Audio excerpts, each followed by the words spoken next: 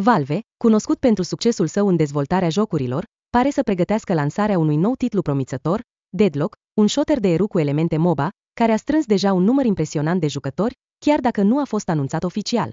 Conform unui leak de la Gabe Follower, un sursă de încredere în comunitatea gamerilor, Deadlock a atras deja peste 200.000 de jucători, iar numărul acestora continuă să crească. Pe 11 august, Deadlock a atins un vârf de aproape 17.000 de jucători simultan, un rezultat remarcabil pentru un joc încă neanunțat. Această creștere a popularității este atribuită deciziei recente a Valve de a relaxa procesul de invitare, permițând jucătorilor să invite prieteni din lista lor de Steam, ceea ce a dus la o expansiune rapidă a bazei de jucători.